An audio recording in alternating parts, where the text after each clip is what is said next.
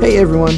I reviewed the XTAR SP100 panel a while back, and it quickly became my favorite 100 watt panel because of its clean bifold design and the ability to deliver more than 100% of its rated output, which is unheard of in solar panels.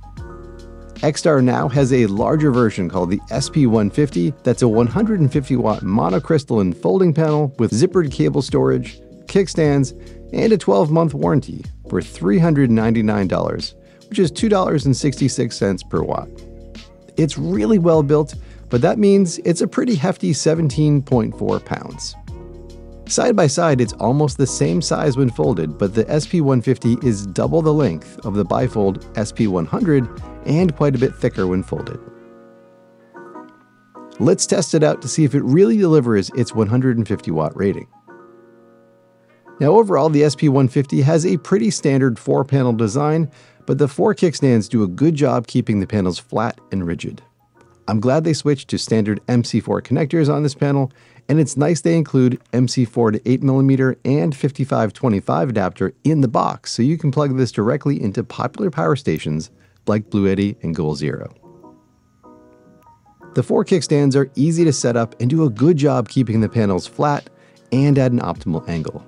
I hate floppy panels, and this is nice and rigid.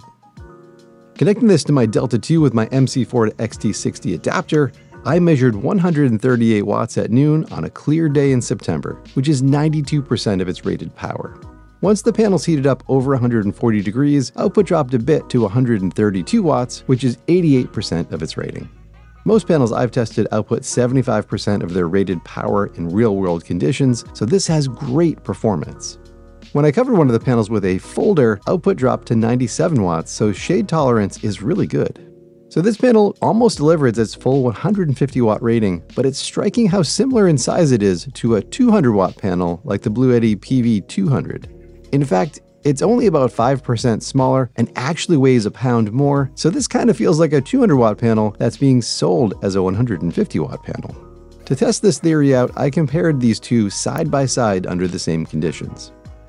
When folded, they're very similar in size, Unfolded, they're basically the same size as well, so it certainly looks like a 200 watt panel. The Bluetti panel output 130 watts when cool, but it quickly dropped to 124 watts, which is only 62% of its 200 watt rating. The XTAR SP150 output 132 watts even when hot, which is 88% of its rating. The fact that these are basically the same size and the SP150 had slightly more output tells me this is actually a 200 watt panel that XTAR has conservatively rated at 150 watts. I went ahead and asked XTAR about this and they confirmed that's the case. So I really like how they conservatively rate their panels so they easily hit their rated output in the real world. This is not how the rest of the solar panel industry works, and it's really refreshing.